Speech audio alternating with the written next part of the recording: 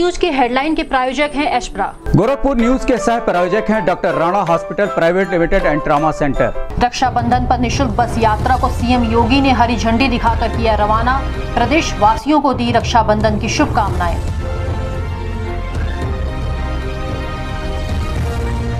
देश भर में मनाया गया राखी का त्यौहार। महिलाओं ने गोरखनाथ मंदिर में प्रदेश के मुखिया को राखी बांधने के बाद की अन्य रस्मों की अदायगी।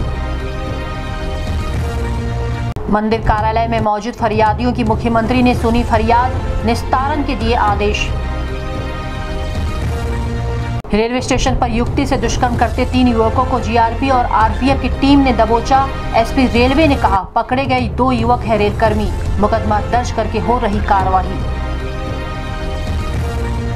दो दिवसीय गोरखपुर दौरे के बाद प्रदेश के मुख्यमंत्री योगी आदित्यनाथ रविवार की दोपहर लखनऊ के लिए हुए रवाना। हरियाणा से बिहार ले जा रही लाखों की अवैध शराब को पुलिस ने किया जब्त। एसपी नॉर्थ ने किया खुलासा। जर्जर पेड़ गिरने से युवक की मौत। रक्षाबंधन के दिन हुआ दर्दनाक हादसा। बहन नहीं बाँध पाई राखी। लूट की मोबाइल के साथ दो लुटेरे चढ़े पुलिस के हत्थे सीओ कैंट ने किया खुलासा।